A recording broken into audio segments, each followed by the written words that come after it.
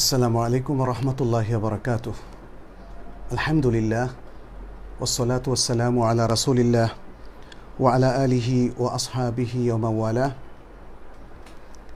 প্রিয় সম্মানিত দর্শক ভাই বোনেরা যারা যে যেখান থেকে আমাদেরকে দেখছেন, আপনাদের সবাইকে রমাদানের এই সুন্দর দিনে, এই সুন্দর মুহূর্তে আপনাদের সবাইকে স্বাগত জানাচ্ছি। আশা করছি সকলে ভালো আছেন এবং আল্লাহর কাছে দোয়া করছি। তিনি যেন আমাদেরকে বারাকার সাথে তার পক্ষ থেকে বিশেষ করুণাসহ আমাদেরকে সুন্দরভাবে জীবনযাপনের তৌফিক দেন এবং করোনার যে মহাদুর্যোগ এবং মহামারী, তা থেকে আমাদের সবাইকে তিনি যেন রক্ষা করেন, আমাদেরকে যেন হেফাজত করেন। পাশাপাশি পাপ, শেরেক, বেদাত কুফরি সহ আরও যে সমস্ত বিভ্রান্তি আমাদের মধ্যে আছে, আল্লাহ যেন সেগুলো থেকে আমাদেরকে রক্ষা করেন, সেই দোয়া রেখে আমরা আজকের এই প্রশ্নোত্তর সেশন শুরু করতে যাচ্ছি। বেশ কিছু প্রশ্ন আমাদের কাছে গত পর্বে এসেছে। আমরা সবগুলোর জবাব দিতে পারিনি, খুব অল্পই জবাব দিতে পেরেছি। আমরা চেষ্টা করব আরেকটু দ্রুত যাওয়ার জন্য। আল্লাহর কাছে তৌফিক কামনা করছি। রফিকুল ইসলাম তিনি একটি প্রশ্ন পাঠিয়েছেন, বলেছেন, প্লেন বা ট্রেনে চড়া কি হারাম না হালাল? নবী করিম সাল্লাহ সাল্লাম তো কোনো সময় প্লেনে চড়েননি। টিভি দেখা, গল্পের বই পড়া, গান শোনা, সবই নাকি হারাম? দয়া করে ইসলাম ধর্মের বৈজ্ঞানিক ব্যাখ্যা দিয়ে আমাদের উপকার করুন। ভাই রফিক এখানে আপনি আসলে মূলত বেদাতের প্রশ্নটাই তুলেছেন যে রাসুল সাল্লাহ সাল্লাম অনেকগুলো কাজ করেননি, অথচ আজকে আমরা সেগুলো করছি অথবা সেই সুযোগগুলো আমরা গ্রহণ করছি। তো সেটা তো বেদাত হচ্ছে না। তাহলে কিছু কিছু জায়গা আপনারা কেন বেদাত বলছেন? অথবা কোনো কোনো বিষয়কে কেন আপনারা হারাম বলছেন? হ্যাঁ এখানে আমি দুটো কথা বলব। বেদাত হচ্ছে দিনের মধ্যে সবের কাজ হিসাবে অথবা ইবাদত হিসাবে নতুন কিছু চালু করা। দিনের মধ্যে, অর্থাৎ সেটা পার্ট অফ ইসলাম হবে, তাহলে সেটা বেদাত হবে। অন্যথায় যদি সেটা দৈনন্দিন জীবনের সুযোগ সুবিধা বৃদ্ধির জন্য কেউ করে থাকেন, তাহলে সেটা বেদাত হবে না, কেউ বলেননি। যেমন গাড়িতে চড়া, ট্রেনে চড়া, প্লেনে চড়া, রকেটে চড়া, কিংবা আরও যে আধুনিক যেই সমস্ত সুযোগ সুবিধাগুলো ইলেকট্রনিক সুযোগ সুবিধা ট্রান্সপোর্টের সুযোগ সুবিধা কিংবা আমাদের বাসা বাড়ির সুযোগ সুবিধা, এগুলো এগুলো কেউই কিন্তু বেদাত বলেননি। কারণ এগুলোকে কেউ দিনের অংশ, অর্থাৎ ইসলামের অংশ হিসাবে কেউ চালু করেননি। এগুলো হচ্ছে আমাদের জীবনযাপনের একটা উপায় উপকরণ। ফলে সেই জায়গা ইসলাম কিন্তু একদমই ওপেন সেই জায়গায় কোনো কিছুকে ইসলাম হারাম বলেনি অ্যাকসেপ্ট যদি ইসলামের মূলনীতির সাথে সাংঘর্ষিক হয়, ইসলামের হারামের যে সংজ্ঞা সেই ক্ষেত্রে পড়ে যায়, তাহলে সেটা হারাম হবে।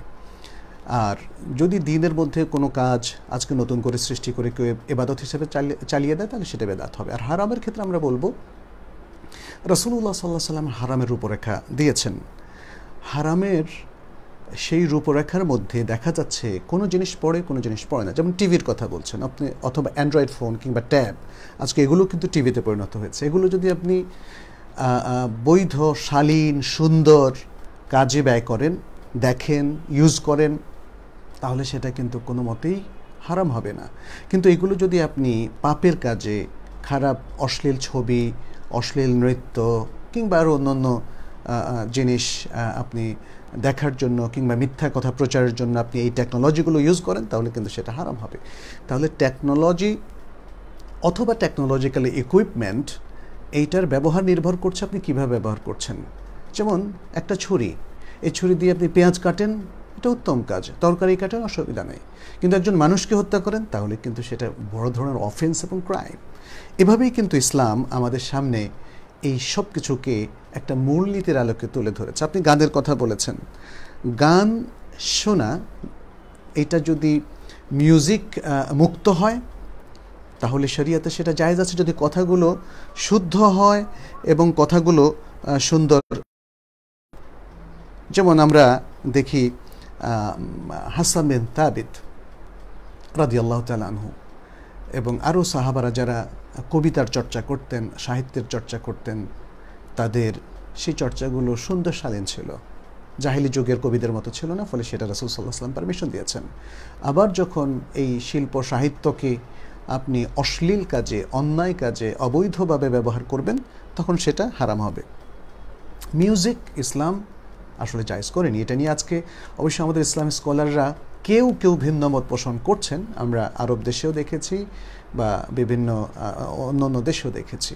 কিন্তু আমরা যে সেরিয়া অধ্যয়ন করেছি এবং যে হাদিস অধ্যয়ন করেছি, সেখানে রাসুল সাল্লাহ সাল্লাম মিউজিককে হারাম বলেছেন এবং মিউজিকের উপর আধুনিক কিছু সায়েন্টিফিক রিসার্চও হয়েছে, সেখানে দেখা যাচ্ছে মিউজিক শোনা অথবা মিউজিক্যাল মানে এই ব্যাপারে এঙ্গেজ থাকা, এটা মানুষের যে ক্রিয়েটিভ সেলগুলো আছে, সেগুলো নষ্ট করে দেয়। তো আমরা আসলে দীর্ঘ ডিসকাশন করার সুযোগ নেই একটা প্রশ্ন নিয়ে।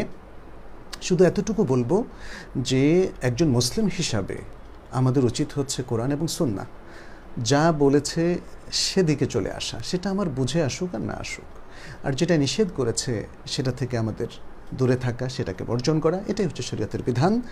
এখন আমি যদি কোনো জিনিস হয়তো জায়জ ছিল, কিন্তু মনে করেছি হারাম, বর্জন করলাম, তাতে তেমন অসুবিধা নেই। কিন্তু কোনো জিনিস হারাম, সেটাকে আমি জেনে শুনে যদি আমি করে ফেলি, তাহলে সেই পাপ তো আমাদের জন্য অত্যন্ত ভয়াবহ হবে। তওবা করা ছাড়া সেই পাপ থেকে মুক্ত হওয়া যাবে না। আল্লাহ আমাদের সবাইকে রক্ষা করুন। আমি আপনাকে প্রসঙ্গত আরেকটু বলতে চাই যে, এই যে বৈজ্ঞানিক তথ্যের কথা বলেছেন, বৈজ্ঞানিক বিভিন্ন বিষয় আসার কথা বলেছেন, এগুলো সবই আল্লাহর সৃষ্টি। মানুষ শুধু সেগুলোকে এক্সপ্লোর করছে, আবিষ্কার করছে ক্রিয়েট করছে না, সৃষ্টি করছে না।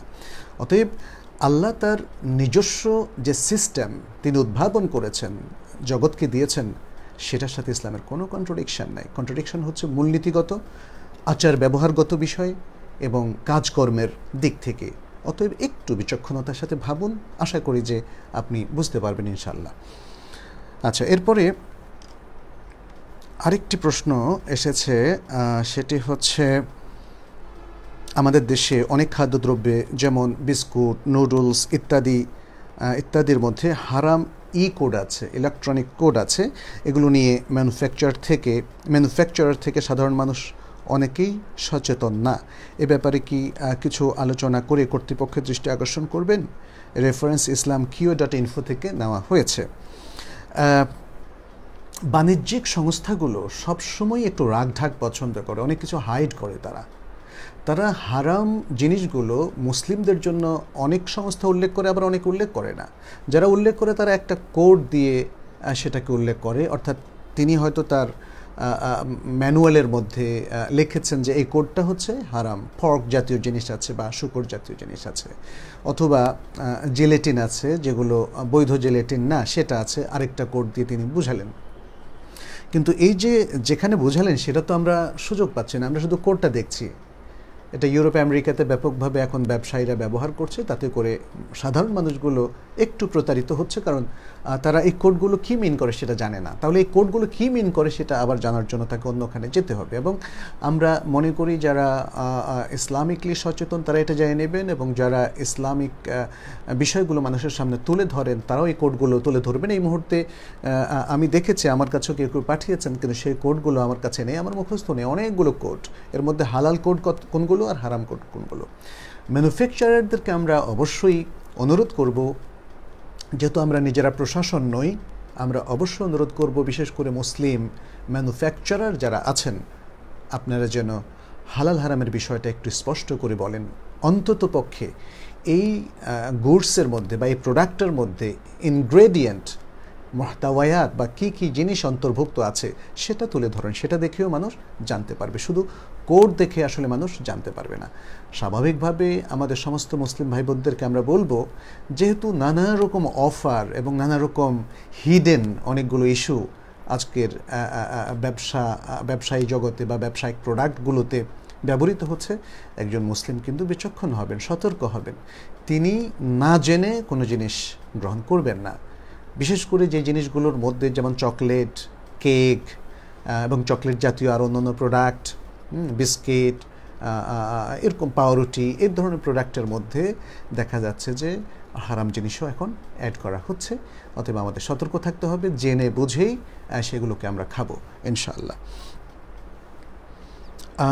দেলাওয়ার হুসাইন প্রশ্ন রেখেছেন বাসায় মা, বাবা, ভাই সবাইকে নিয়ে সালাত আদায়ের বিষয়টি বলেন। মা, বাবা, ভাই, বোন সবাই যদি এক বাসায় এখন এই লকডাউনের সময় আপনারা অবস্থান করেন তাহলে আপনারা ইসলামের যে বিধিবিধান আছে সে অনুযায়ী আপনারা সফগুলোকে দাঁড় করাবেন। ইমাম দাঁড়াবেন একটা সফে, তার পরের সফে দাঁড়াবে অ্যাডাল্ট পুরুষেরা, বয়স্ক পুরুষেরা, অর্থাৎ বালেক যারা, বয়স্ক বলতে আমরা আসলে অনেক বয়স্ক বোঝাচ্ছি না, বালেক যারা, তারা বালেক পুরুষেরা, তারপরে বালকেরা, তারপরে মহিলারা। আচ্ছা এখন বাসায় হয়তো আমাদের সংখ্যা কম, তাহলে যারা প্রাপ্তবয়স্ক পুরুষ, তাদের সাথে একই সারিতে যদি জায়গা থাকে, বালকরা দাঁড়াতে পারে। কিন্তু মহিলারা অবশ্যই পুরুষদের পেছনে দাঁড়াবেন। যদি স্বামী এবং স্ত্রী থাকেন, তাহলে স্বামী একটা সফে আলাদা ইমামের জায়গা এবং স্ত্রী তার পেছনে আলাদা সফে দাঁড়াবেন। আর যদি মা, বাবা ভাই বোন থাকেন, তাহলে একজন ইমামতি করবেন। বাবা ভাই বোন তারা, বাবা, ভাই যারা আছেন পুরুষ সেকেন্ড সফে থার্ড সফে, মেয়েরা এভাবে দাঁড়াবেন এবং এভাবে আপনারা পাঁচ ওয়াক্ত সালাতের ফরজ সালাদগুলো আদায় করবেন। যেহেতু মসজিদে এখন অধিকাংশের পক্ষে যাওয়াটা সম্ভব নয়, মসজিদেও অনেকটা লকডাউনের আওতার মধ্যে প্রশাসনিকভাবে আছে, অতএব আমরা সেদিকটাও রক্ষা করব। আর কেয়ামুল্লাইলের ক্ষেত্রে এটা একটা চমৎকার যে আমরা এবার বাসার সবার সাথে সুন্দরভাবে মনের মাধুরী মিশিয়ে আমরা এই সালাতুত্তারাভি কিয়ামুল্লাইল আদায় করতে পারছি। সবাইকে সম্পৃক্ত করা লং টাইম দাঁড়ানো এবং মাঝে মাঝে তাদের সাথে কিছু ভালো কোরআন হাদিসের কথা শেয়ার করা ইসলামের মূলনীতি শেয়ার করা, ইসলামের মৌলিক আকিদা শেয়ার করা এবং তাদেরকে কিছু গাইডলাইন দেওয়া, জীবনের গাইডলাইন এই কাজগুলো আপনারা সালাতের ফাঁকে ফাঁকে করে নিতে পারেন বা প্রত্যেক সালাতের পরে করে নিতে পারেন।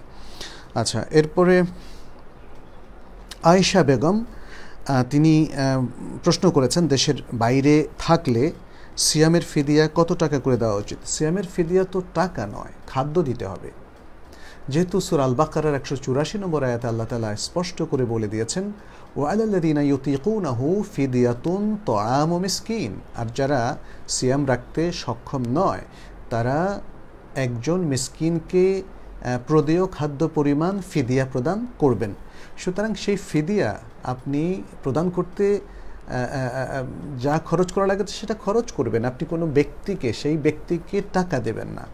সেই ব্যক্তিকে কারও মাধ্যমে, নিজে না পারেন, অন্য কারও মাধ্যমে খাদ্য কিনে আপনি প্রোভাইড করবেন, তাহলে আপনার এই ফিদিয়াটা আদায় হবে। কোরআন তো আমাদের কাছে একদম স্পষ্ট করে বলে দিয়েছে। সুতরাং সেই জায়গায় আমরা নিজেরা ভিন্ন ব্যাখ্যায় যাওয়াটা উচিত না। হয়তো অনেকে বলবেন, টাকা দেওয়া খাদ্য একই কথা কথা। প্রায়শই বলতে শোনা যায়।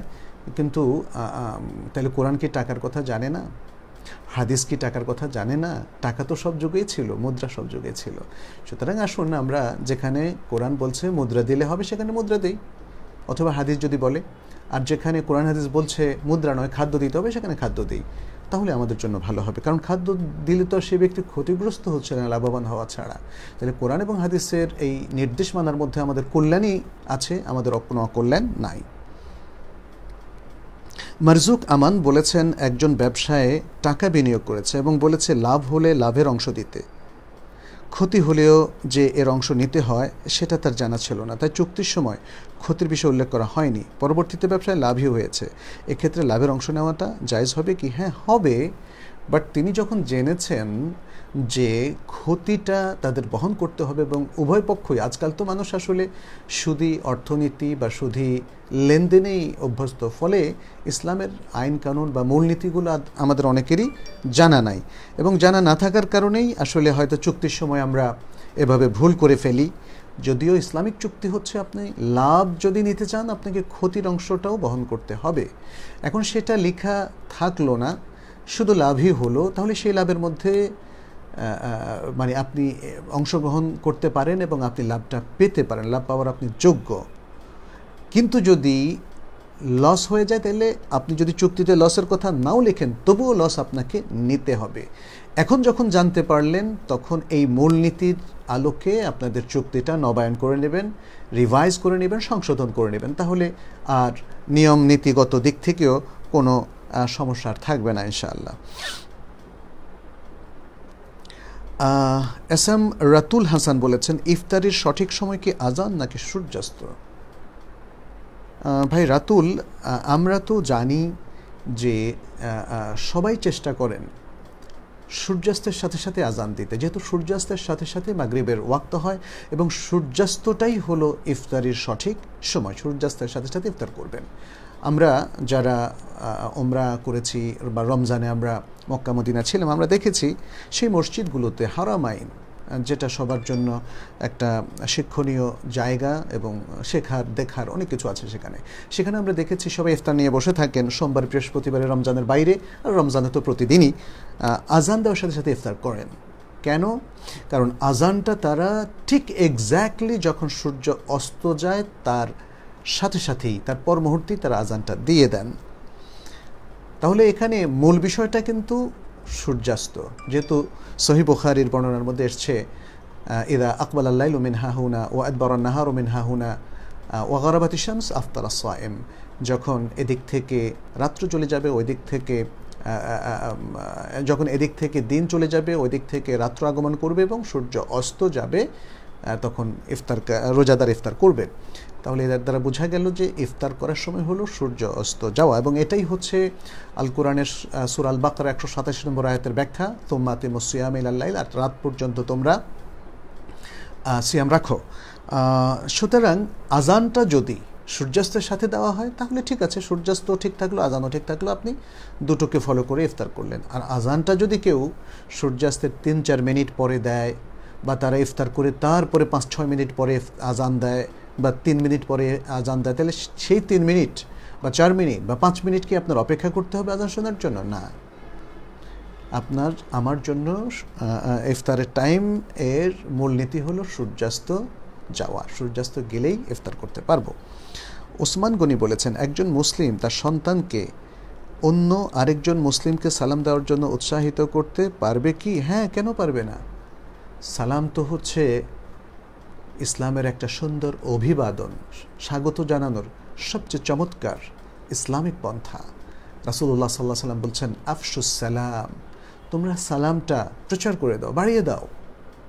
বাড়িয়ে দাও। তাহলে আপনার সন্তানকে যদি আপনি সালাম সালাম দেওয়ার জন্য উৎসাহিত না করেন অন্য মুসলিমকে, তাহলে সে সালাম দেওয়ার অভ্যাসটা পাবে কোথেকে আজকাল তো আমরা রাস্তাঘাটে চল, চলাফেরা করতে গিয়ে দেখি যে অনেকে সালাম দেয় না। সালামটা এই কালচার থেকে উঠে গেছে এবং আধুনিক প্রতিষ্ঠানে মানুষ ভাবে যে সালাম দেওয়া এটা জাস্ট যারা দাড়ি টুপি পরে দিনই ব্যক্তিত্ব আছেন তাদের কাজ, এটা আমরা করব না, আমরা আধুনিক আমরা আধুনিক, এটা ঠিক না।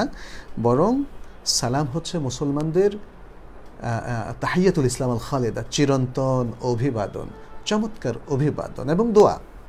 আসসালামু আলাইকুম। সালাম আল্লাহর একটা নাম। মানে হচ্ছে শান্তি যিনি প্রদান করেন। তো আপনার উপর, যিনি শান্তি প্রদান করেন, তার পক্ষ থেকে শান্তি বর্ষিত কি সুন্দর একটা দোয়া।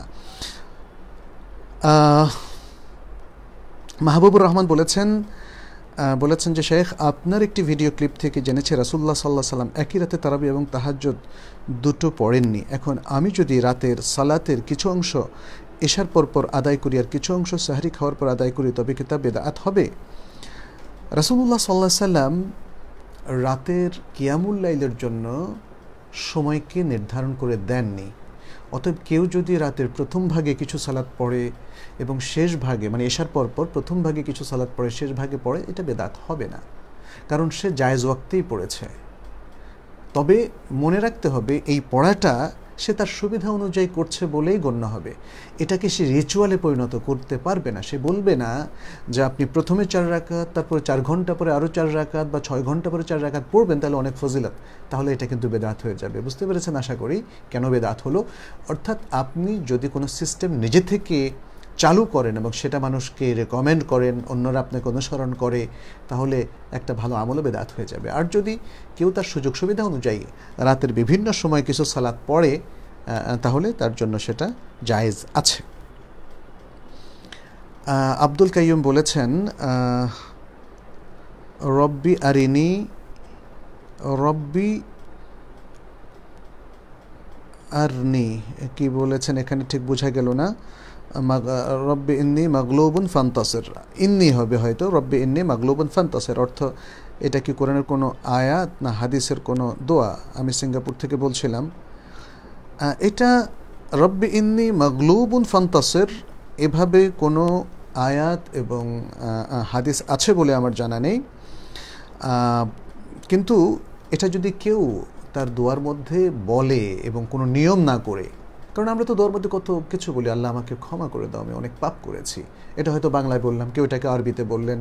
তাহলে আমার এই বলাটা যদি আমি সবার জন্য অনুকরণীয় করে, ফজিলতমূলক করে না দেই, তাহলে এটা যায় যাচ্ছে রব্বিনী মাগলুবন ফান্তাসের, হে আল্লাহ, আমি পরাহত, পরাভূত এক ব্যক্তি, জীবনযুদ্ধে পরাভূত এক ব্যক্তি আমাকে তুমি সাহায্য করো। এ হচ্ছে দোয়া। তো আল্লাহর কাছে এবার সাহায্য চাওয়া যায় যাচ্ছে কিন্তু যেই দোয়াগুলো কোরআন হাদিসে স্পষ্টভাবে সাব্যস্ত নেই। সেগুলো আপনার জন্য নিজের মনের মাধুরী মিশিয়ে কোনো ধরনের সীমালঙ্ঘন না করে করা জায়েজ আছে, কিন্তু সেগুলোকে দোয়া মাসুরা হিসাবে চালু করে দেওয়া সেটা জায়েজ নাই। এটা আমাদের মনে রাখতে হবে। আমজাদ হোসেন বলেছেন, চার রাকাত নামাজের জামাতে প্রথম দুই রাকাত শুনিয়ে কেরাত পাঠ করেন, পরের দু রাকাতে নীরবে পাঠ করেন। এখন আমার প্রশ্ন হলো, ইমাম জোরে কেরাত পড়ার সময়ও কি মুক্তাদিকে সুরাফাতে পড়তে হবে? এখানে তিনটা মত আছে। একটা মত হচ্ছে হ্যাঁ ইমাম যখন জোরে কেরাত পড়েন, যে দুই রাকাতে, যেমন ফজরের প্রথম দুই রাকাতে, ফজরের তো দু রাকাতই ফরজ এশার প্রথম দুরাকাতে মাগরীবের প্রথম দুরাকাতে তাহলে এই তিনটা সলাতের দুরাকাতে ইমাম জোরে কেরাত পড়েন। সেই সময় সুরা ফাতেহা পড়তে হবে ইমাম শাফি রাহমাহুল্লাহ সহ অনেক ওলামায় কেরাম সেটি মত এবং এর পক্ষেই হাদিসের বক্তব্যও অনেক জোরালো অনেক জোরালো। যেহেতু রাসুল্লাহ সাল্লাহ আসলামের পেছনে যখন সাহাবাই কেরাম পড়ছিলেন, তখন তিনি বলছিলেন, কেন তোমরা আমার পেছনে পড়ো? তোমরা শুধু সুরা ফাতেহা পড়তে পারো। এখানে একাধিক শুদ্ধ হাদিস আছে, এভাবে তিনি বলেছেন। আর অন্য হাদিস তো আছেই যে সরা, সুরা ফাতেহা ছাড়া সালাত হবে না, কিন্তু সেটার ক্ষেত্রে হয়তো অনেকে বলবেন যে, ইমাম জোরে পড়লে তো ইমামের কেরাত আমার কেরাত হয়ে যাচ্ছে। সুতরাং আর লাগবে না। কিন্তু এক্ষেত্রে যখন নবী সাল্লাহ সাল্লাম ওই কথাটা বললেন যে, তোমরা অন্য কিছু পড়ো না, তবে সুরা ফাতেহা পড়ো, কারণ সুরা ফাতেহা ছাড়া সালাত হয় না। এটা কিন্তু স্পষ্ট দলিল। আরেকটা মত হচ্ছে, ইমাম সাহেব যখন জোরে বলবেন যে যে প্রশ্নটা আপনি করেছেন, এক্ষেত্রে ইমামের পেছনে মনোযোগের সাথে শুনলে চলবে, পড়তে হবে না, সুরা ফাতেহা পড়তে হবে না। আর আরেকটা মত হচ্ছে যে, ইমাম আস্তে পড়ুক আর জোরে পড়ুক, কখনোই পড়তে হবে না, কারণ ইমামের কেরাতে মুক্তাদির কেরাত। তিনটা মত এখানে আমরা পাচ্ছি। হাদিসের সরাসরি বক্তব্য থেকে এবং সতর্কতামূলক বক্তব্য হচ্ছে, ইমাম জোরে পড়লেও তার পেছনে সুরা ফাতেহা পড়া এবং সেটা সবচেয়ে উত্তম হচ্ছে ইমাম যখন সুরা ফাতেহা পড়া শেষ করেন, তারপর আপনি ইমাম সুরা ফাতেহা পড়া শুরু করবেন ইনশাআল্লাহ।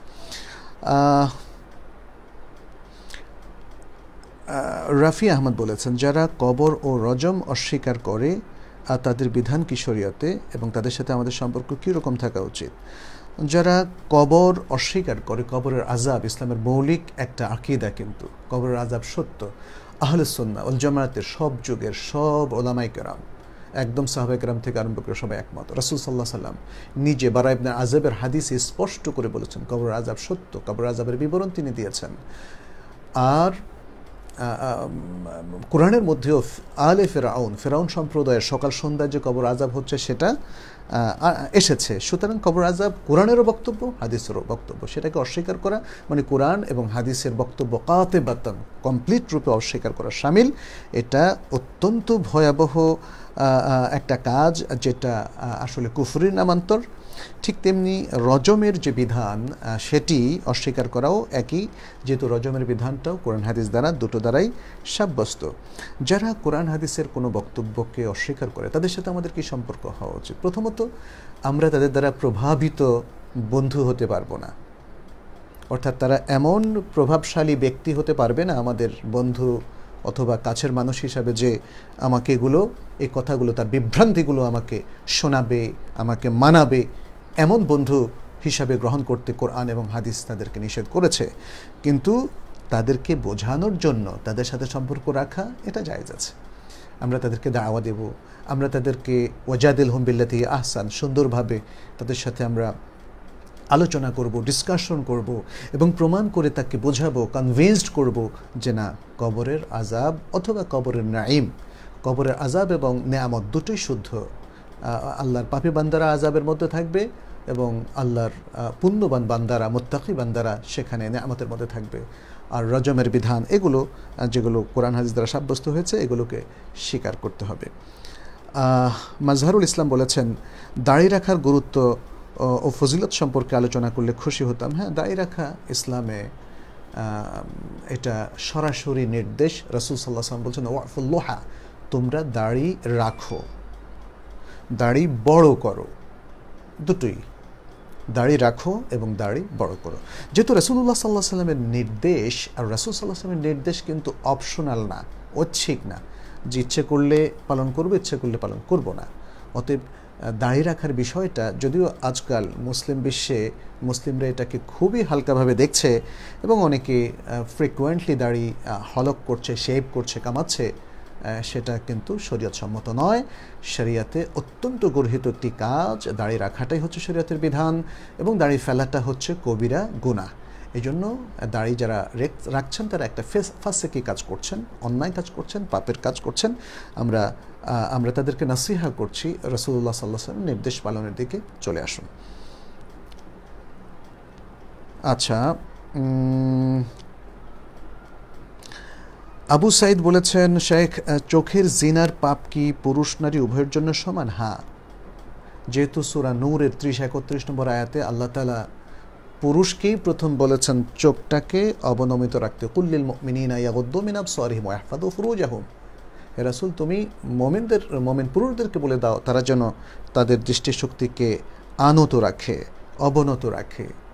এবং তারা যেন তাদের লজ্জাস্থানকে হেফাজত করে এবং পরের আয়াতি বলছেন ওয়াকুল্লিল মিনাতি ইয়াগুদ্দুদনা মিন আবসারিহিন্না ওয়াহফাদনা ফুরুজাহুন্না। আর মোমেন, নারীদেরকেও বলে দাও, তারাও যেন তাদের দৃষ্টিশক্তিকে অবনত রাখে এবং তারাও যেন তাদের লজ্জাস্থানকে হেফাজত করে, জেনা ব্যবচারে তারা লিপ্ত না হয়। সুতরাং নির্দেশ যেহেতু উভয়ের জন্যই সমান, অতএব যদি চোখের জেনার মধ্যে উভয়ই মিলিত হয় বা লিপ্ত হয় তাহলে তাদের পাপও সমান হবে। যেহেতু সওয়াবও সমান তাহলে মানে পাপ থেকে বিরত থাকার সওয়াব যদি সমান হয়, তাহলে একই কাজে লিপ্ত হওয়ার পাপও সমান হবে। হাসিবুর রহমান হাসিব বলেছেন, জামাতে নামাজের তৃতীয় এবং চতুর্থ রাকাতে আমাদের ইমাম সাহেব খুব দ্রুত সুরা ফাতেহা পড়া শেষ করে রুকুতে চলে যায়। তার সাথে পাল্লা দিয়ে আমরা সুরা ফাতেহা পড়া কমপ্লিট করতে পারি না। কি করা যায় অবস্থায়? একটু দ্রুত অথচ শুদ্ধভাবে তার তিলটা যতটুকু সম্ভব রক্ষা করে আপনি পড়ার চেষ্টা করবেন। এটা মানে দ্রুত করার জন্য, শুদ্ধ অথচ দ্রুত এটা করার জন্য সালাতের বাইরে আপনাকে অনেক প্র্যাকটিস করতে হবে। আপনি জানেন যে যারা সংবাদ পাঠ করে বিভিন্ন প্রোগ্রামে উপস্থাপন করে কিংবা টিভিতে যারা বিভিন্ন মানে খুব সলিড কথা পেশ করে এটা কিন্তু অনেক প্র্যাকটিস করে। এবং আমরা জানি যে বিভিন্ন জায়গায় যারা খুব সুন্দর গোছানো বক্তব্য রাখে, তারাও কিন্তু প্র্যাকটিস করে। সবাই প্র্যাকটিস করে এটা আমি বলব না। যেমন আজকে এই উত্তর দেওয়ার জন্য আমরা কোনো প্র্যাকটিস করিনি। জেনারেল নলেজ থেকে আমরা উত্তর দিচ্ছি, আমাদের যে কোরআন সন্না ভিত্তিক পড়াশোনা আছে। কিন্তু অনেকেই কিন্তু যে বক্তৃতাটা সে দেবে সেটা আওড়ে নেয়। তাহলে আপনিও সুরা ফাতেহাটাকে বারবার শুদ্ধ অথচ একটু দ্রুত লয় পড়াকে রপ্ত করুন, তাহলে এই সিচুয়েশনগুলোতে আপনি হয়তো সুরা ফাতেহা পুরোটা পড়তে পারবেন।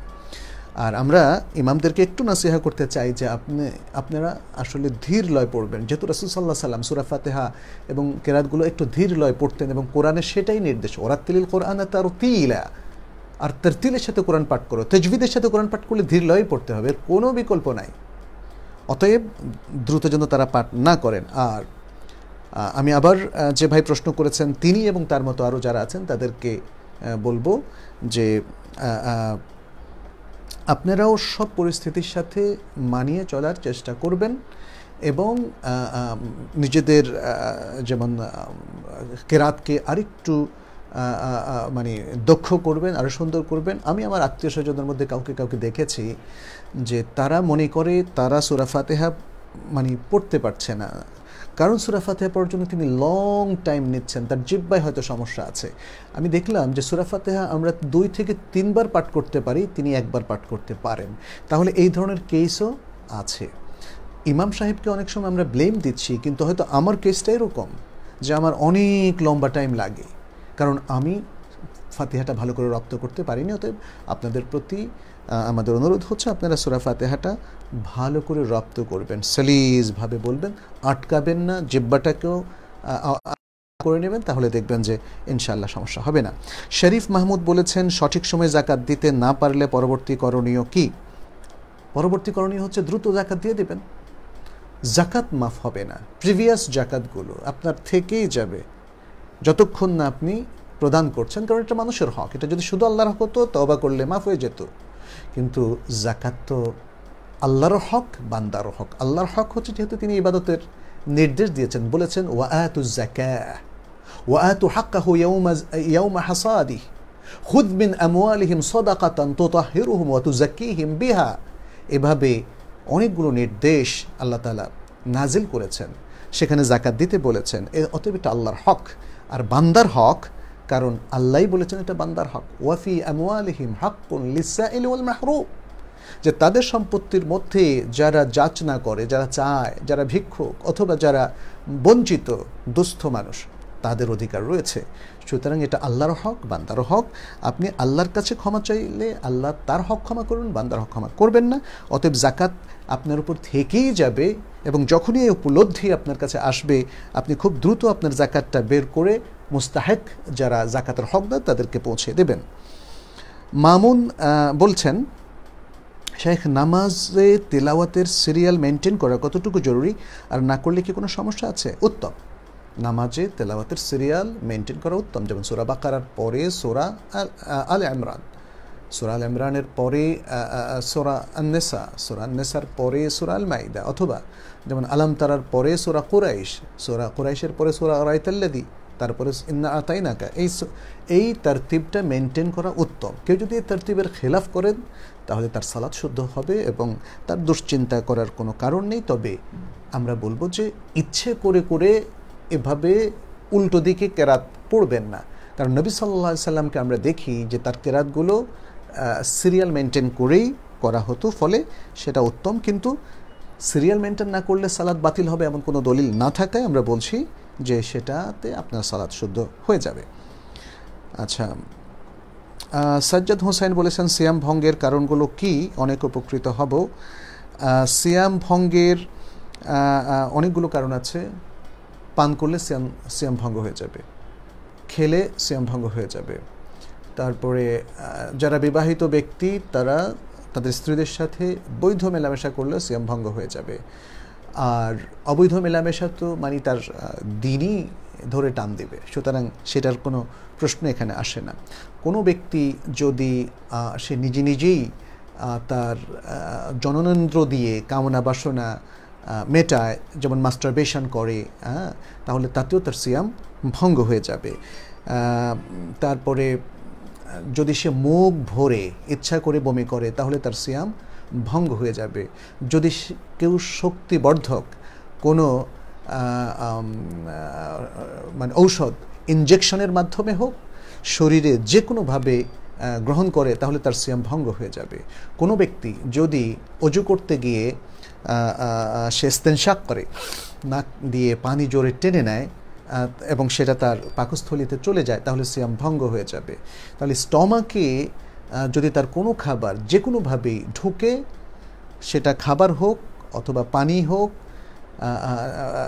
মানে সেগুলো ঢুকলে তার সিয়াম ভঙ্গ হয়ে যাবে। কিন্তু শরীরে যদি কোনো জিনিস প্রবেশ করানো হয়, যেটা তার স্টমাকে যাবে না, যেটা শক্তিবর্ধকও নয় এবং যেটা তার খাদ্য এবং পানির কোনো অভাব মেটায় না, এবং যেটা তার কামনা বাসনারও পরিপূরক নয়, তাহলে এই সমস্ত জিনিস গ্রহণে তার সিয়াম ভঙ্গ হবে না। যেমন ইনহেলার গ্রহণ করার কারণে বা অক্সিজেন নেওয়ার কারণে তার আপনার সিয়াম ভঙ্গ হবে না। অক্সিজেনটা যদি পানিতে পরিণত হয়ে যায়, তখন গ্রহণ করলে সেটা স্টমাকে চলে গেলে তার সিয়াম ভঙ্গ হবে, অন্যথায় নয়। এগুলো হলো মৌলিকভাবে সিয়াম ভঙ্গের মূল কারণ। কিছু কিছু জায়গায় ইখতলাফ আছে, যেমন রক্ত যদি সে গ্রহণ করে অথবা তার শরীর থেকে রক্ত বের হয় তাহলে কি সিয়াম ভঙ্গ হবে কি না? এই এই মশালাগুলো এখতলাফি মশালা আমরা সেগুলো অন্য সময় আলোচনা করব। সাহাবিদের জীবনী বিষয়ে কোন বইগুলো পড়া উচিত? সাজ্জাদ শাওন তিনি প্রশ্নটা করেছেন। সাহাবিদের জীবনী বিষয়ে অনেক ভালো ভালো বই এখন আছে। আব্দুর আব্দুর রহমান রহমত বাসা। তিনি আরবিতে খুব সুন্দর কিছু বই সাহাবিদের জীবনীর উপরে ছোট ছোট ঘটনার মতো, কাহিনীর মতো করে, গল্পের মতো করে লিখেছেন। সে বইটা বাংলায় কিন্তু অনুবাদ হয়েছে। অনেকে অনুবাদ করেছেন। আমি দেখলাম বিভিন্ন প্রকাশন অনুবাদ করেছে, আলাদা আলাদা অনুবাদ করেছে। আপনারা তার মধ্যে যে কোনো একটা পড়ে নিতে পারেন। তারপরে সাহাবিদের জীবন কথা ডক্টর আব্দুল মাহবুদ তারও লেখা বই আমরা দেখেছি, সুন্দর। তিনি মূল জিনিসগুলো তুলে ধরেছেন। সাহাবিদের জীবনী আমাদের জন্য খুবই গুরুত্বপূর্ণ, বিশেষ করে আমাদের শিশু, কিশোর এবং তরুণ প্রজন্মের জন্য। সাহাবিরা হচ্ছেন আমাদের রোল মডেল নবী সাল্লাহ সাল্লামের পরেই সাহাবিরা হচ্ছেন আমাদের রোল মডেল অতএব আপনাদের সবাইকে আমি অনুরোধ করব যে প্রত্যেকের বাসায় যেন সাহাবিদের যত ভালো বই পাওয়া যায়, নির্ভরযোগ্য প্রকাশনীর, সেগুলো আপনারা একসাথ করবেন এবং সকলে মিলে সেগুলো পড়ে ফেলবেন। আপনার ক্লাস টু থ্রির বাচ্চারা, ছেলে অথবা মেয়ে, তাদেরকেও পড়াবেন।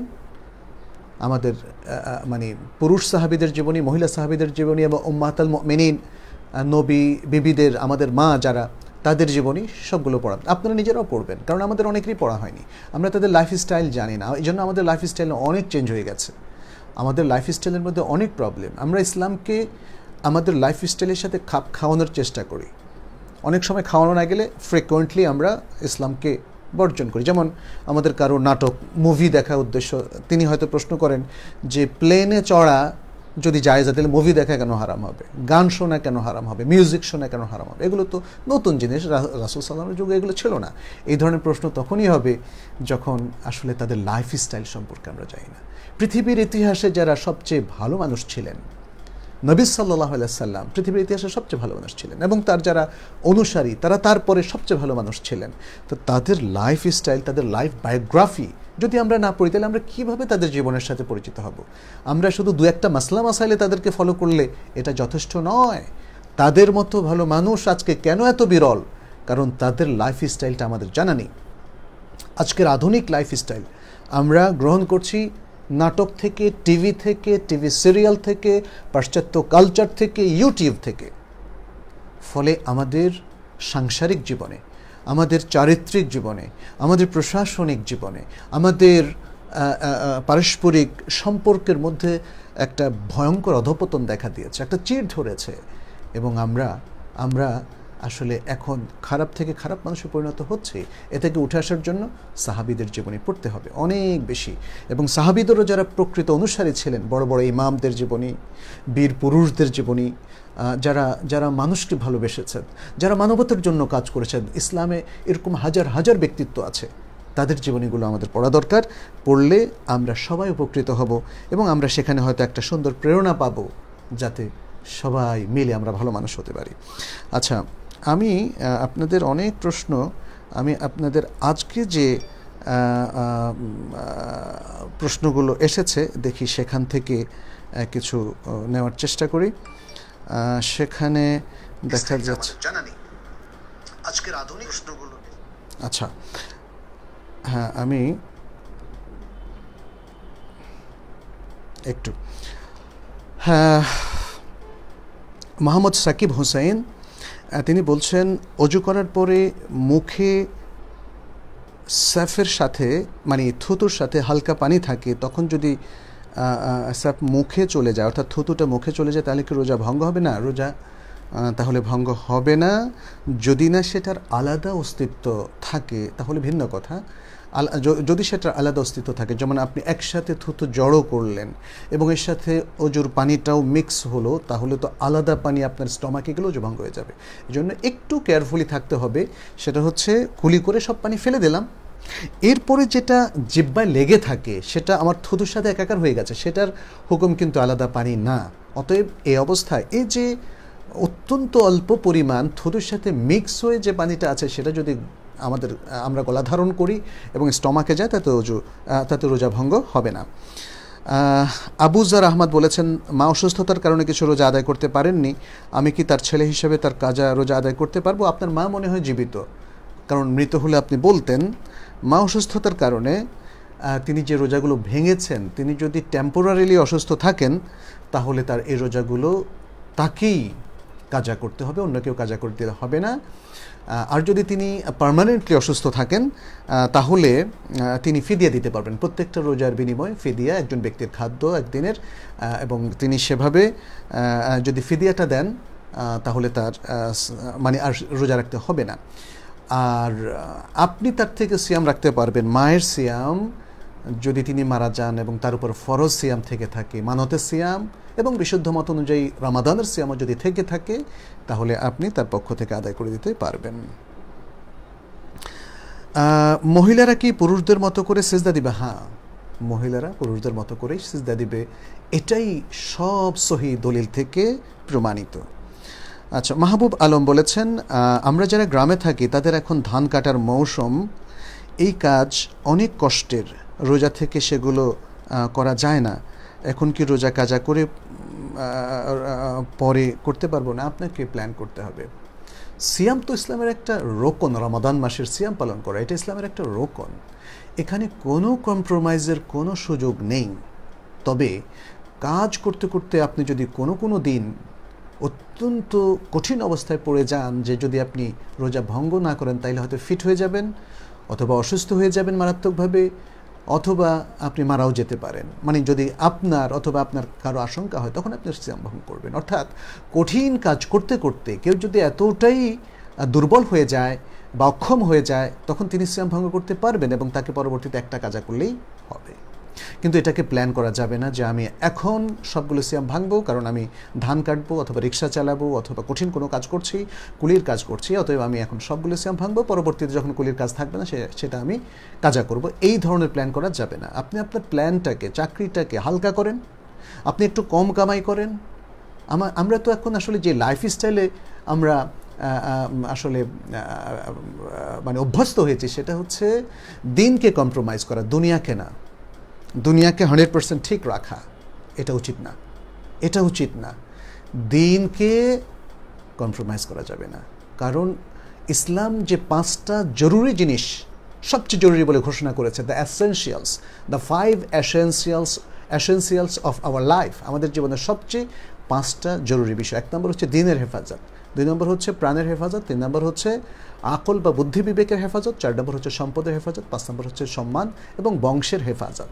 তাহলে দিনের হেফাজতের জন্য আপনি সব কিছুকে বর্জন করবেন, কিন্তু দিনকে বাদ দিয়ে বাকিগুলো রক্ষা করা যাবে না। এই জন্যে যুদ্ধে দিনকে রক্ষা করাটা এক নাম্বার, যে কারণে মানুষ নিজের জীবনকে তুচ্ছ করে দিনকেই সে প্রমোট করে এলা কালিমাতুল্লার কাজ করে। সুতরাং আমরা বলব যে আমরা যারা সিয়াম এর সময় চলে এসেছি রামাদানে। তারা কাজকে হালকা করে নেব, অথবা পারলে আমি রাত্রিবেলা কাজ করব, অথবা আমি কিছুদিন ছুটি নেব হ্যাঁ?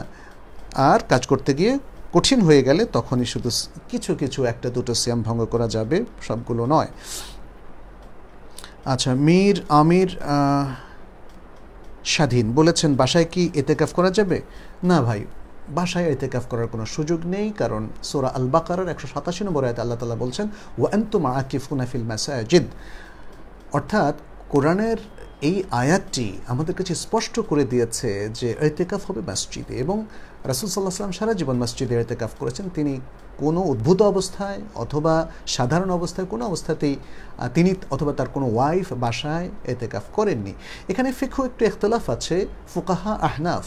হানাফি মাঝহের অনেক ফকিহ তারা বলেন, মেয়েরা বাসায় এতেকাফ করবে, এটা তাদের ফাতাওয়া।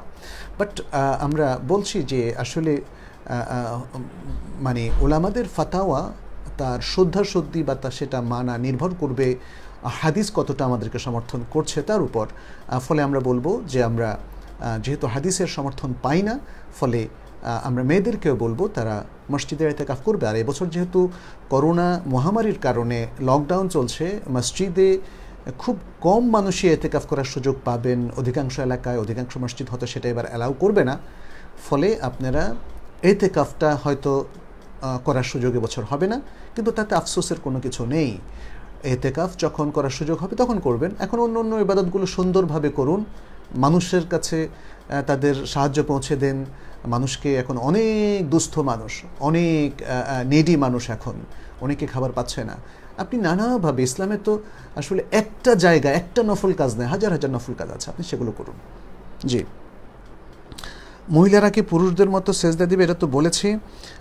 জাহিদ আহমদ বলেছেন আমি জায়েদ আহমদ সিলেট থেকে বাসায় এখন একা সব সালাদ পড়ি। সালাতের উচ্চস্বরে সুরা ফাতেহার সাথে অন্য সুরা পড়তে পারব কি? উচ্চস্বরে আপনি উচ্চস্বরের সালাদগুলোতে পড়তে পারবেন। উচ্চস্বরে উচ্চস্বরের সালাদ যেমন ফজর যেমন মাগরিব, এশা, এগুলোতে পারবেন। তারপরে কিয়ামুল্লাইলে পারবেন। কিন্তু জহর, আসর এবং যেই রাকাতগুলো, যেমন এশার শেষ দুই রাকাত, মাগরিবের শেষ এক রাকাত, এগুলোতে জোরে কেরাত পড়বেন না। যেহেতু এটাই হচ্ছে রাসুল সাল্লাহ আমল, এটাই হচ্ছে তার নির্দেশনা। সুতরাং সলাত আদায়ের ক্ষেত্রে যেটা সবচেয়ে এক্সক্লুসিভ এবাদা হিসাবে বিবেচিত, সেই এবাদতে কি করে আমরা রাসুল্লাহ সাল্লাহ সাল্লামের সন্ন্যার বাইরে যেতে পারি, তার সন্ন্যাকে অমান্য করতে পারি? অবশ্যই সেটা উচিত নয়। আচ্ছা ইউসুফ হাসান বলেছেন দুইভাবেই হবে, দুই দুই রাকাত পড়া উত্তম সালাহ মাসনা মাসনা। প্রশ্নটা কিন্তু আমরা ঠিক বুঝতে পারিনি। দুই দুই রাকাত করে উত্তম কোন সালাতের কথা বলছেন? সেটা তো অবশ্যই ফরজ সালাতের বাইরে সকল সলা দুই দুই রাকাত করে পড়াটাই উত্তম। শাম্মি রহমান বলেছেন, একজন মায়ের চারতলা বাড়ি আছে এবং ওনার ব্যাংকে ছয় সাত লাখ টাকা আছে, তার জাকাত ফরজ, উনি জাকাত দেবেন। কিন্তু ওনার নিজের বিবাহিত মেয়ে অভাবে আছে, সেক্ষেত্রে কি উনি তার নিজের মেয়েকে জাকাতের অর্থ দিতে পারবেন? তার হাজব্যান্ডে তার জামাইয়ের তেমন কোনো ইনকাম নেই, অর্থাৎ মেয়ের জামাইয়ের কোনো ইনকাম নেই। মা মেয়েকে জাকাত দিতে পারবেন, বিশুদ্ধ মত অনুযায়ী। বাবা দিতে পারবেন না। অবশ্য যদি মানে এখানে উপায় আছে, সেটা কি? বাবা যদি মেয়েকে বিয়ে দিয়ে দেন, অর্থাৎ যতক্ষণ পর্যন্ত বাবার খোর পোষের আন্ডারে সন্তানরা থাকবে, ততক্ষণ পর্যন্ত বাবা তাদেরকে জাকাত দিতে পারবেন না। এখন, মেয়ের সংসারেই তো টাকাটা যাওয়া দরকার, তাই না? তাহলে জামাইকে দিয়ে দেন, অথবা নাতিনাতকুরদেরকে দিয়ে দেন, তাহলে সেটা উত্তম হবে। এবং সেভাবে মনে হয় আর কোনো এখতলাফই থাকবে না যে নানি যদি তার নাতিনাতকুরদেরকে দিয়ে দেন এবং সেই টাকা দিয়ে তার নিজের মেয়ে জামাইসহ সবাই তাদের দিন গুজরান করে, তাহলে সর্বসম্মতিক্রমে জায়েজ হবে। তবে আমরা বলব এক্ষেত্রে মায়ের উপরে ওয়াজিব নয়, বিবাহিত মেয়ের খোরপোশ চালানো। ফলে বিবাহিত মেয়েকে যেহেতু সেটা তার উপর ওয়াজিব না, তাহলে তার জাকাত থেকে তিনি সেখানে দিতে পারবেন। এখানে মূলনীতি হলো, যাদের খোরপোশ চালানো কোনো ব্যক্তির উপর ফরজ ওয়াজিব হিসাবে গণ্য হয়, সেই ব্যক্তি তাদের খোরপোশের টাকাটা জাকাত থেকে দিতে পারবে না। সে তার নিজের ইনকাম থেকেই দিতে হবে। যেহেতু তার অলরেডি নিজের ইনকাম আছে। জাকাত তো সাধারণত তার উদ্বৃত্ত সম্পত্তি থাকলে সেটা এক বছর তার কাছে থাকলে এবং তারপরে তিনি এক বছর পরে গিয়ে জাকাতটা দিচ্ছেন। তার মানে তার নিজের ইনকাম করা সম্পত্তিও আছে যেটা দিয়ে নিজের সংসার চালান এবং উদ্বৃত্ত টাকাও আছে। তাহলে যাদের খোরপোশ তার উপর ওয়াজিব, তাদেরকে তার ইনকামের টাকা দিয়েই চালাতে হবে, জাকাতের টাকা দিয়ে, না। এটা হলো মূলনীতি সুতরাং সে মূলনীতি অনুযায়ী আপনি এখানে যে মায়ের কথা বলেছেন, সে মা তার সন্তানকে, মেয়েকে জাকাতের টাকা দিতে পারে। আচ্ছা জাহিদ আহমেদ রিপন বলেছেন, আমি, না, এটা তো আমি উত্তর দিয়েছি ইমদাদুল হক, জুয়েট, তিনি বলেছেন, জাকাত খেতে কেমন গরিব হতে হবে? জাকাত প্রথম কথা হলো, এটা ফোকারা এবং মিসকিন আলট্রা পুয়ার অথবা পুয়ার আলট্রা পুয়ার অথবা পুয়ার সুরা আত্তবার সিক্স জিরো অর্থাৎ ষাট নম্বর আয়াতে আল্লাহ তাল্লাহ বলছেন, ইন্নামা সদাকাতুলিল ফোকারায় ওল মাসাকিন বলে মোট আটটা খাত বর্ণনা করেছেন, যার প্রথম দুটো খাত হচ্ছে ফকির এবং মিসকিন। ওলামাই কেরামের রাজেহ মত হলো, ফকির হচ্ছে আলট্রা পুয়ার যে মানে খুব বেশি দরিদ্র দরিদ্র সীমানার অনেক নিচে যার অবস্থান সে হলো ফকির। মিসকিন হচ্ছে যার একদিনের খাবার আছে, তার বেশি নাই। আচ্ছা এখন এর থেকেও বেশি ভালো যারা, তারাও কিন্তু জাকাত নিতে পারবে। যেমন একজন লোক হয়তো ড্রাইভার হিসাবে কাজ করছেন, কিন্তু তার সন্তানদের পড়াশোনার খরচ তিনি বেয়ার করতে পারছেন না। তাহলে সন্তানদের পড়াশোনার জন্য তিনি জাকাত নিতে পারবেন। কেউ তার বেতন দিয়ে যদি শুধু খোরাকিটা হয় অথবা বাসা ভাড়াটা হয়, তাহলে অতিরিক্ত খরচের জন্য তিনি তার প্রয়োজন অনুযায়ী জাকাত নিতে পারবেন। তার সন্তানদের পড়াশোনার জন্য জাকাত নিতে পারবেন বা চিকিৎসার খরচ চালানোর জন্য জাকাত নিতে পারবেন। অতএব আপনার জন্য এটা খুব গুরুত্বপূর্ণ প্রশ্ন নয় যে কেমন গরিব হতে পারে। গরিব বলতে যাদেরকে বোঝানো হয়, দরিদ্র। চাই সে দরিদ্র সীমানার নিচে থাকুক বা দরিদ্র সীমানা বরাবর থাকুক বা তার একটু উপরে থাকুক, কিন্তু সে জাকাত পে করে না। এমন যদি হয়, তাহলে তার যে কোনো নিড ফুলফিল করার জন্য সে জাকাত নিতে পারবে ইনশাআল্লাহ। আচ্ছা রাকিবুর রহমান, রাকিব বলেছেন, কি কথা দ্বারা জেহার সাব্যস্ত হবে এর কাফারা কি এটা তো আল কোরআনে আল্লাহ তালা তুলে ধরেছেন। আন্তা আলাইয়া কাভাহরে উম্মি, তুমি আমার কাছে আমার মায়ের পিঠের মতো। এটা হচ্ছে ওলামাই কেরামের আম কথা, যেহেতু দেহার জাহরুন থেকে এসছে। আন্তা আলাইয়া কাভাহরি উম্মি, তুমি আমার কাছে আমার মায়ের মতো। এখান থেকে দেহার সাব্যস্ত হয়েছে। অর্থাৎ স্ত্রীকে মায়ের কোনো অঙ্গ প্রত্যঙ্গের সাথে তুলনা করা, সেটা পিঠ হোক অথবা অন্য যে কোনো অঙ্গ প্রত্যঙ্গ হোক, যেহেতু এটা হচ্ছে মায়ের সম্মান।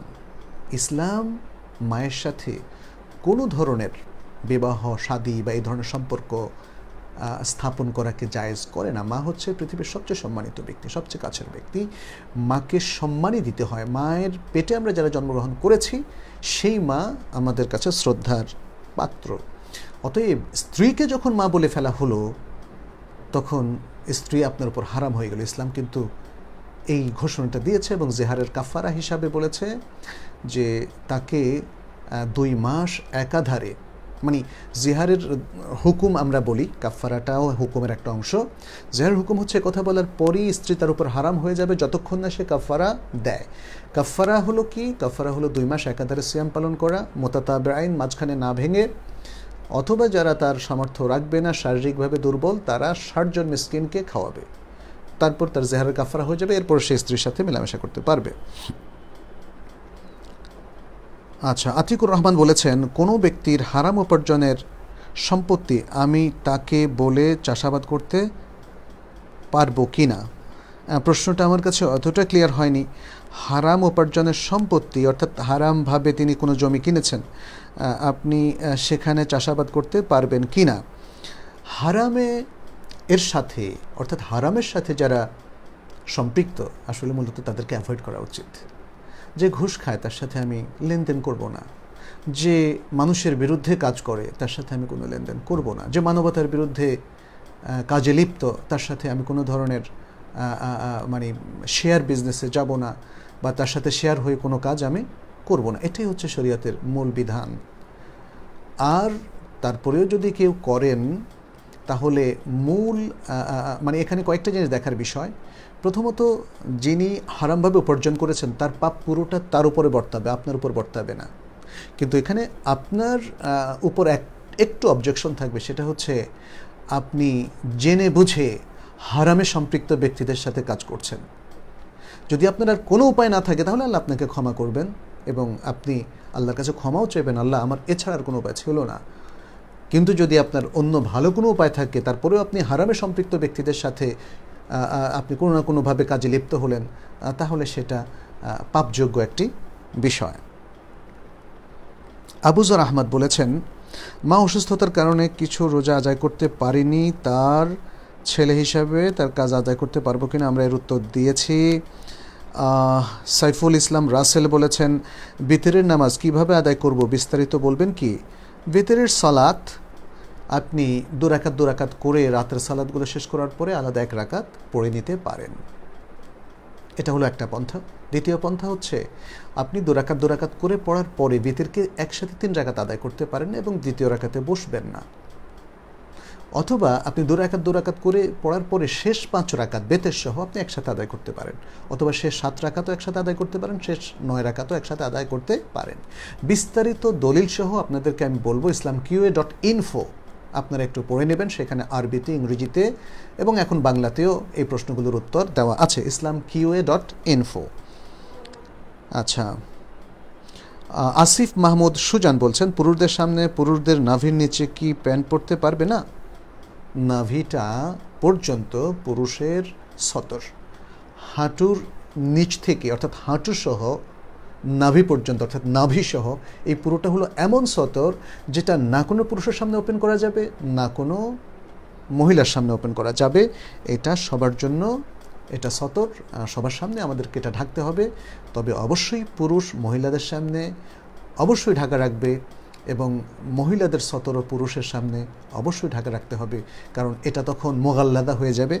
একটা বিপরীত লিঙ্গের সামনে এভাবে শত শুধু নয়, নিজেকে উপস্থাপন করার ক্ষেত্রে আরও সতর্ক, সতর্কতা অবলম্বন করতে হবে, মরুয়াত অবলম্বন করতে হবে, সৌজন্যতাবোধ রক্ষা করতে হবে, ভদ্রতা রক্ষা করতে হবে, শালীনতা রক্ষা করতে হবে, এটা মনে রাখতে হবে। আব্দুল খালেক ইমাম তিনি বলেছেন, আরিফ সরকার ও আচ্ছা।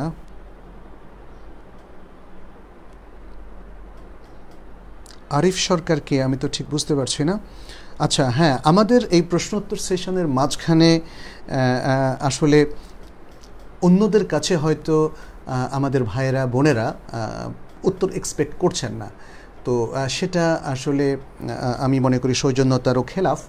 অতএব আজকের এই সেশানে যতক্ষণ আমরা আছি ততক্ষণ আমাদের সেশন আমাদের থেকেই জবটা আপনারা হয়তো পেতে পারেন এবং অন্য ভাই বোনেরাও সেটা এক্সপেক্ট করছে।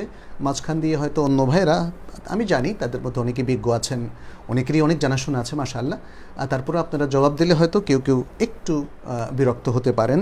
তো আমরা বলব যে সেটা অ্যাভয়েড করতে পারলে আমাদের জন্য ভালো।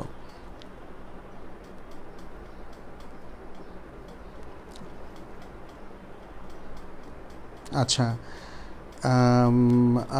আশরাফুল ইসলাম তিনি বলেছেন আমার প্রশ্ন একটা হাউজে কতটুকু পরিমাণ পানি থাকলে পানি পাক হবে যদি পানিটা না পাক হয়?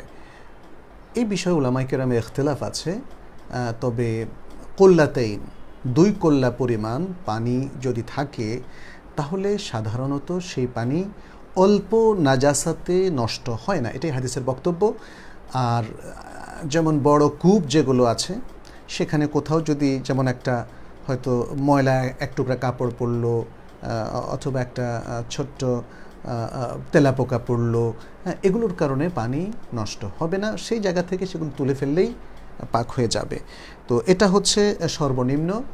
কারও কারও মতে না, পানি আরও অনেক বেশি থাকতে হবে যাতে এক পাশে আপনার যদি মানে নাড়া দেওয়া হয় অন্য পাশে একটু পরে পৌঁছে স্রোতটা। এরকম বিভিন্ন ইখতলাফ আছে আমাদের ফোকাহিকেরামের কাছে। কিন্তু আমরা কুল্লাতাইনের যে হাদিসটা দেখি, তাতে সেখানে বলা হচ্ছে যে দুই কল্লা পরিমাণ পানি থাকলে সাধারণত অল্প নাজাসাতে সেটা নষ্ট হবে না। আর যদি বেশি নাজাসাত হয় যেমন একটা বিড়াল পড়ে মারা যায়, একটা কুকুর পড়ে যায়, তাহলে তো সেখানে যতটা পরিমাণ উঠালে সে পানিটার স্বাদ, গন্ধ ঠিক হয়ে যায়, ততটা পরিমাণ পানি সেখান থেকে উঠে ফেলতে হবে। মহিলাদের এতেকাফ সম্পর্কে বিস্তারিত জানতে চাই শাবরিনা চাঁদনি, তিনি এটা বলেছেন। আমরা কিন্তু একটু আগে এতেকাফের উপর বলেছি যে পুরুষ, মহিলা সবার এতেকাফই মসজিদে হতে হবে। মহিলাদের এতেকাফ বিশুদ্ধ মত অনুযায়ী বাসায় হবে না। যদিও ফোকাহায়, আহনাফের কোনো কোনো আলেম সে পক্ষে মত দিয়েছেন। সেটা তাদের মতামত। কিন্তু আমরা কোরআন এবং হাদিসের দলিল থেকে জানি যে এতেকাফ করার জন্য মসজিদে এতেকাফে বসতে হবে। আচ্ছা সোহেল মাহমুদ বলেছেন, অজু ছাড়া কোরআন করিম তেলাওয়াত করা যাবে কি? এবং সেজদার সময় সেজদা দেওয়া যাবে কি? অজু ছাড়া কোরআন মুখস্থ যদি তেলাত করেন, তাহলে সর্বসম্মতিক্রমে তেলাওয়াত করা যাবে। কিন্তু আরবি মোসহাফ স্পর্শ করার জন্য যেহেতু একাধিক হাদিস রয়েছে সুনানের গ্রন্থগুলোতে এবং আমাদের জমহুর ওলামাইকেরাম যার মধ্যে বিজ্ঞ মহাকেক ওলামাইকেরামও আছেন আধুনিককালে শেখ সালিবিন আমিনের মতো তাদের মত হচ্ছে আরবি মোসহাব, যেখানে অন্য কোনো তর্জমা বা কিছু তাফসির নেই, তাহলে সেটা স্পর্শ করে পড়ার জন্য অজু লাগবে। আর তিলাওয়াতে সেজদার জন্যও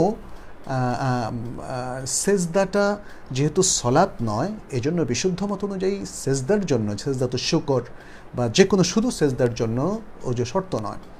কিন্তু উত্তম হচ্ছে অজু করে নেওয়া।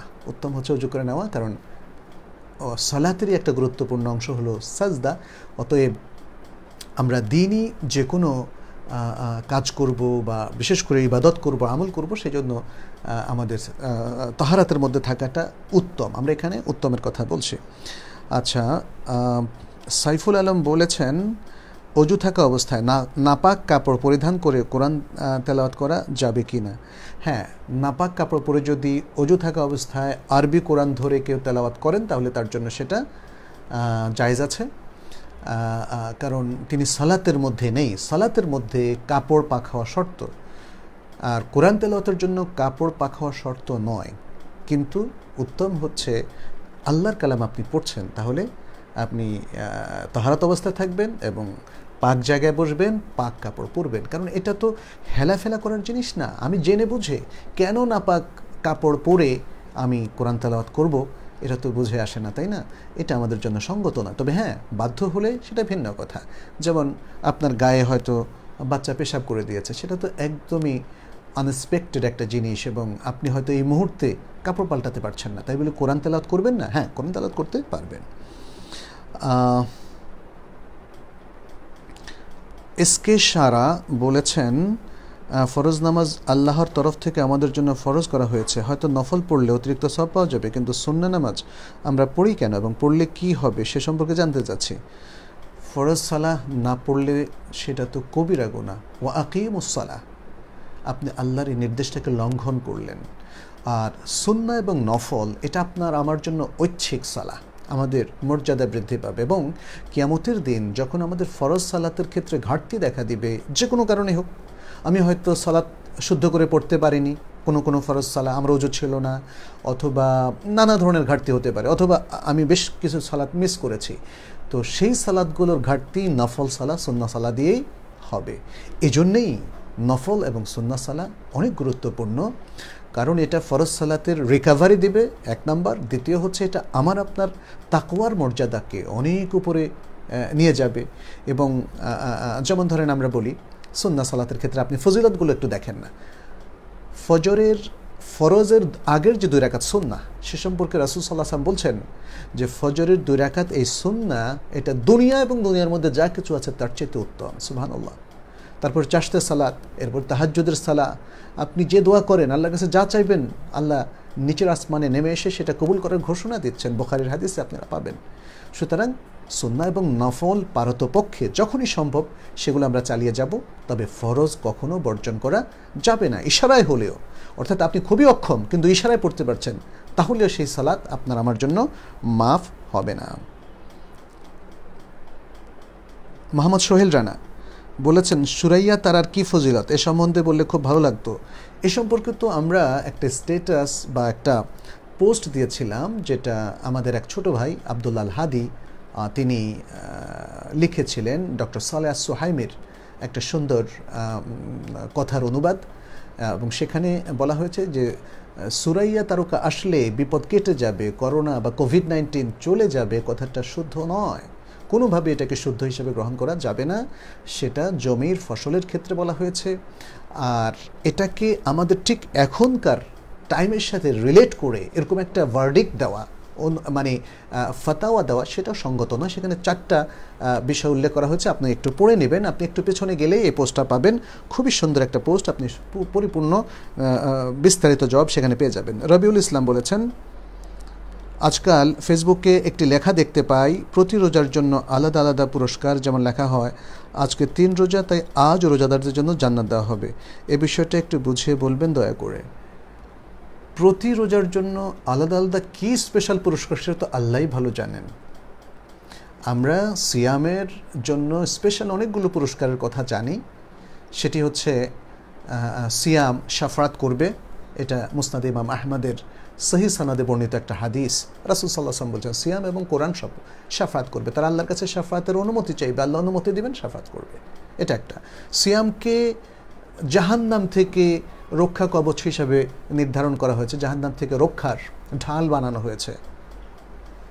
আসিয়াম জুন্নাতুন ইয়াস্তাজন্য বিহাল আব্দুমিনার না এটা একটা ফজিলত। সিয়ামের আরেকটা ফজিলত হচ্ছে তাদের জন্য একটা স্পেশাল দরজা আছে, যে দরজা দিয়ে কেয়ামতের দিন তারা ঢুকবে, সেটা বাবুর রাইয়ান। যারা সিয়াম রাখছে, রোজা রাখছে, তারা ছাড়া কেউ ঢুকতে পারবে না। সিয়ামের আর সবচেয়ে বড় স্পেশাল পুরস্কার হচ্ছে আল্লাহ তালা সেটা নিজে দেবেন। কারণ তিনি বলছেন, কুল্লু আমাল ইবনে আদম আলাহু ইল্লা সিয়াম ফা ইন্নাহুলি ওয়া আনা জিবি বনি আদমের সকল আমল তার জন্য সে মানে সওয়াবের যে ক্যালকুলেশন এক নেকি, দশ নেকি থেকে সাতশো নেকি পর্যন্ত হতে পারে, সেই ক্যালকুলেশন অনুযায়ী সে সওয়াব পাবে, বাট সিয়াম এই হিসাবে না। তার জন্য আরেকটা স্পেশাল হিসাব, সিয়াম। আমার জন্য রাখা হয়েছে, আমি এর পুরস্কার দেব। অতএব সিয়ামের এই পুরস্কারগুলো আমাদেরকে সেভাবেই নিতে হবে। এছাড়া রাসুল সাল্লাহাম বলছেন মানসামা রমাদানা ইমানা ওহতিসাবান গোফির আলাহুমা তাকাদ্দামা মিন্দাম্বি যে ব্যক্তি রমাদানের সিয়ামগুলো পালন করবে ইমানের সাথে এবং আল্লাহর কাছে সবের আশা এখলাসের সাথে, তাহলে আল্লাহ তার পূর্বে সকল পাপকে ক্ষমা করে দেবেন। তাহলে এতগুলো সওয়াব, এটাই তো যথেষ্ট আমাদের জন্য। আমরা যারা এভাবে প্রতিদিন সিয়ামের জন্য স্পেশাল পুরস্কার ঘোষণা দিচ্ছি, সেগুলো কি কোনো কোরআন হাদিসের দলিলের আলোকে দিচ্ছি? আমি ঠিক জানি না, ভাই, আপনি যদি আমাকে বলতেন যে প্রথম সিয়ামের কি স্পেশাল পুরস্কার, দ্বিতীয় সিয়ামের কি স্পেশাল পুরস্কার, এটা আলাদাভাবে কেউ কেউ বলছেন, তাদের বলাটা মানে কোনো দলিল নির্ভর না হলে সেটা গ্রহণযোগ্য নয়। কারণ আল্লাহ কার কোন আমলে কি স্পেসিফিক পুরস্কার দেবেন সেটা আল্লাহ ভালো জানেন। কেউ কেউ বলছেন যেমন নবজাতকের মতো তিনি নিষ্পাপ হয়ে যাবেন। এটা ঠিক যে এক রামাদান থেকে আরেক রামাদান মাঝখানের পাপগুলোকে ক্ষমা করে দেয়, কিন্তু নবজাতকের মতো নিষ্পাপ হবেন এমন দলিল তো এইভাবে আসেনি। অতএব যেটা দলিলে আসেনি সেটা আমরা নিজের থেকে বানিয়ে বলব না। কিন্তু আমরা বুঝতে পারছি সিয়াম মানুষকে পাপমুক্ত করে। মানুষকে তাকোয়ার দিকে নিয়ে যায় তাকোয়ার শিক্ষা দেয় এবং মোত্তাকি হিসাবে গড়ে তোলে। আলহামদুলিল্লাহ, এটা খুব সুন্দর। আমরা সেভাবেই বলি, যেটা কোরআন হাদিস আমাদেরকে শিখিয়েছে এবং যে ভাষায় উপস্থাপন করেছে, আমরা সেই ভাষায় উপস্থাপন করি, এর বাইরে না যাই। আচ্ছা মজহারুল ইসলাম মনির বলেছেন, ইচ্ছা করে রোজা না রাখলে কাজা হবে না, সেটা বাতিল হয়ে যাবে। কাজা কেবল তখনই হবে যখন আপনি রোজা রাখতে অক্ষম অথবা শরিয়াতে যে যে কারণে রোজা রাখতে নিষেধ আছে, সেক্ষেত্রে না রাখলে কাজা হবে এবং আপনি পরবর্তী রামাদানের পূর্বে প্রতিটি রোজার বিপরীত একটি করে রোজা রাখবেন। একটা মন্তব্য দিয়েছেন, না? আপনার কথাটা শুদ্ধ নয় ভাই। যদি কেউ ইচ্ছে করে সিয়াম ভঙ্গ করে, তাহলে সে পাপি হবে এবং তাকে কাজা করতে হবে। বিলেত্তেফাক। এটা সকল ওলামাইকেরাম একমত এখানে। আপনি তার কাজা হবেন এটা কোথায় পেলেন? আপনি সালাতের উপরে এটাকে কিয়াস করছেন, এটা শুদ্ধ না। সালাতের ক্ষেত্রে যদি কেউ ওয়াক্ত চলে যাওয়ার পরে মানে কেউ ইচ্ছে করে ওয়াক্তটা পার করে দেয়, ইচ্ছে করে, সে সালাদকে ধ্বংস করল, নষ্ট করল, তার কাজার তো কোনো সুযোগ নাই, সেটা ভিন্ন কথা। কারণ সালাতের কাজা হতে পারে যদি কেউ ভুলে যায়, মনে আসলে কাজা করবে। ঘুমিয়ে থাকলে ঘুম থেকে উঠে কাজা করবে।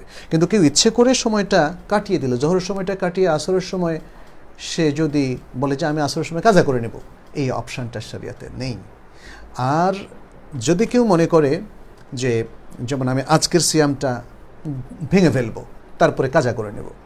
হ্যাঁ তাকে কাজা করতে হবে সেটা শুদ্ধ এবং তার কাজাও শুদ্ধ হবে, কিন্তু তার আজকের সিয়ামটা যে সে ভঙ্গ করলে ইচ্ছে করে, কোনো কারণ ছাড়া সারা রোজা ছাড়ার জন্য তার মহাপাপ হবে। অতএব সালাদকে সর্বাংশে মানে সিয়ামকে বা রমাদানের সিয়ামকে সর্বাংশে সালাতের উপর কিয়াস করা যাবে না। কারণ সিয়াম তরক করা কুফুরি নয়, কবিরা গোনা কিন্তু সালাদ তরক করাটা কুফুরি। এটা আমাদেরকে মনে রাখতে হবে। মুস্তফা কামাল মুহিব বলেছেন